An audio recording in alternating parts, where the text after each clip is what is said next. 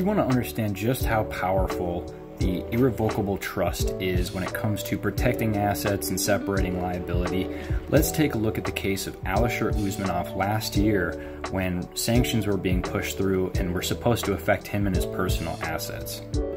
So we'll see here, you're supposed to get hit by these sanctions, but a spokesman for Mr. Usmanov said that most of the billionaire's UK property, as well as his yacht, had already been transferred into irrevocable trusts. When the assets were transferred, Mr. Usmanov no longer owned them, his spokesman said, nor was he able to manage them or deal with their sale, but could only be used on a rental basis.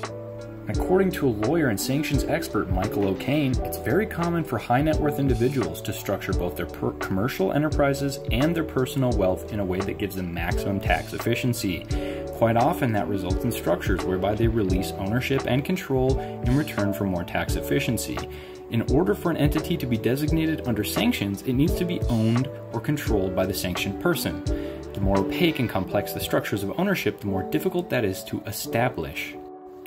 And this is exactly what we teach people from every walk of life to do. Not only is this an irrevocable trust, but it is a private trust created by your own authority as a free human being, and thus it is a private contract protected by the Article 1, Section 10 of the Constitution. Follow us for more. Take care.